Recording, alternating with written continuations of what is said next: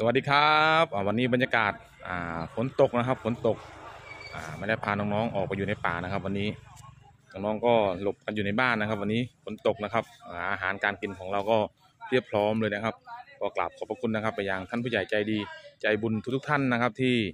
ร่วมเมตตานะครับคนตากับด้านหลานนะครับจนมีบ้านอยู่แล้วก็มีต้นสับปะรดได้ทานนะครับกราบขอบพระคุณเป็นอย่างสูงนะครับ บรรยากาศยามเช้านะครับ วันนี้นะครับนี่ฝนตกนะครับ ฝนก็กำลัง อ่าลงเม็ดเลยนะครับ ตอนนี้นะครับก็อ่าบรรยากาศยามเช้าๆนะครับ ไม่ได้พาออกไปข้างนอกนะครับ วันนี้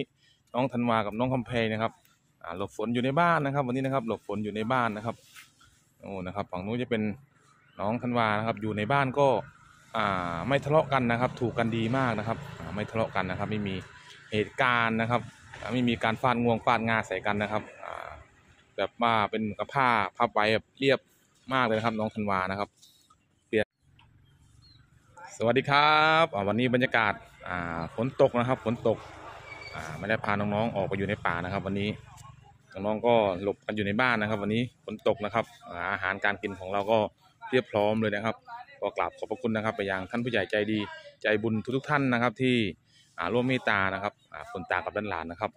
จนมีบ้านอยู่แล้วก็มีต้นสับปะรดได้ทานนะครับกราบขอบพระคุณเป็นอย่างสูงนะครับ บรรยากาศยามเช้านะครับ วันนี้นะครับนี่ฝนตกนะครับฝนก็กำลัง ลงเม็ดเลยนะครับ ตอนนี้นะครับก็บรรยากาศยามเช้าๆนะครับ ไม่ได้พาออกไปข้างนอกนะครับ วันนี้น้องธันวากับน้องคำเพลนะครับหลบฝนอยู่ในบ้านนะครับ วันนี้นะครับ หลบฝนอยู่ในบ้านนะครับโอ้นะครับ ฝั่งนู้นจะเป็นน้องธันวานะครับ อยู่ในบ้านก็ไม่ทะเลาะกันนะครับ ถูกกันดีมากนะครับไม่ทะเลาะกันนะครับ ไม่มีเหตุการณ์นะครับไม่มีการฟาดงวงฟาดงาใส่กันนะครับแบบว่าเป็นกระผ้าผ้าใบแบบเรียบมากเลยนะครับ น้องธันวานะครับ